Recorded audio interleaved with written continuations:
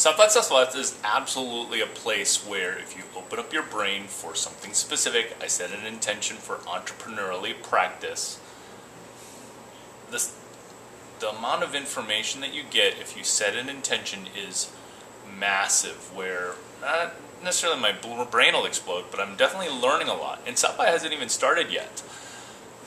I'm currently broadcasting from the Sheraton, and uh, all my locations are on this social network uh, called Google Plus.